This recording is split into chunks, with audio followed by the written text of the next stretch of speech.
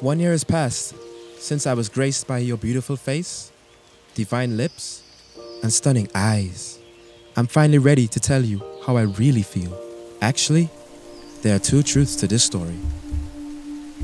I love you. That was one of them. I didn't know what to expect. It's been so long. Since. Since.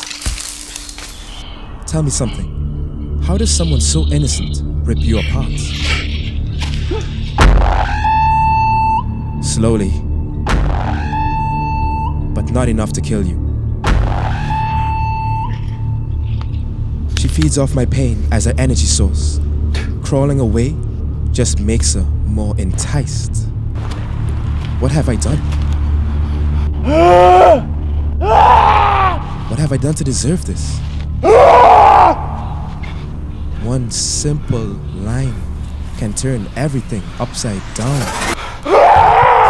The clock always turns back to the happy times. But how long? How long do they last? Can I truly be happy? The kisses don't feel the same anymore. I've been trapped.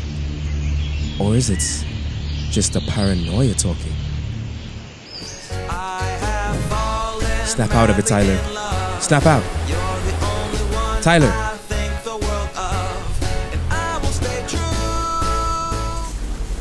Trapped. I need to get out of this.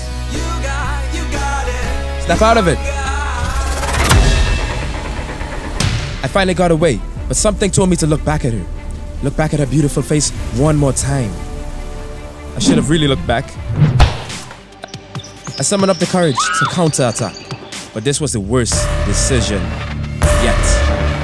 I was drawn by nightmares, impaled with negativity. Snap out of it. This isn't real, Tyler. I need one moment of peace. Snap out of it. Snap out of it. Tyler! Tyler! Tyler! Tyler! Tyler! Tyler! Tyler! Tyler! What?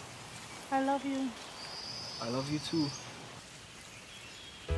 Maybe one day I will tell her the truth. Maybe. I don't know.